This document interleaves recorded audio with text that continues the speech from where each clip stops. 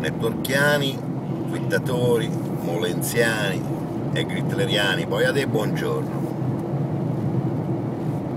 Oggi Radio Stilo è arrabbiata, è arrabbiata perché ho guardato un po' di notizie su, sui giornali, notizie di ieri, ieri l'altro, eh, quindi. Noi si continua a pagare, noi si continua a pagare e gente continua a rubare, gente che dovrebbe controllare quindi quello della Corte dei Conti, quell'altro dell'Autority, quell'altro del Ministro o il socio del Ministro. Continuano a rubare, a rubare, a rubare. E noi bisogna pagare. Pagare, pagare, pagare. Cioè, ma ma non hanno vergogna questa gente qui. Veramente, ora non hanno più vergogna. Cioè. Sabato, cioè sabato che poi è stato venerdì, ma insomma, nove persone arrestate.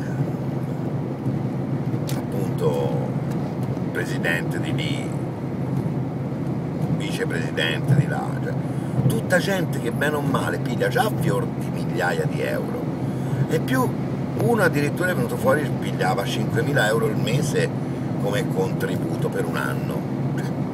Io, io rimango allibito. E noi si continua a pagare. E le nostre tasse cominciano a continuare a aumentare. Qui bisognerebbe veramente che il signor Renzi dicesse, signori, siccome voi avete rubato per tutta la vita, va bene, allora, ora, noi bisogna fare un taglio netto, abbassare le tasse al 100%, cioè proprio mettere al massimo al 30% e dire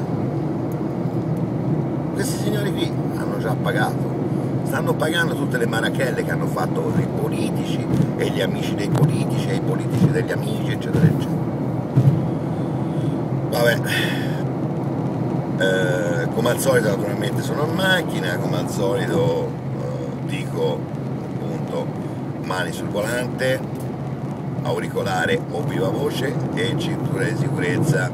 Mi raccomando, un salutino da Radio Stilo al mio amico Alessandro, Alessandro il Trombi naturalmente, cioè Trombi è il cognome, ora non lo voglio dire più.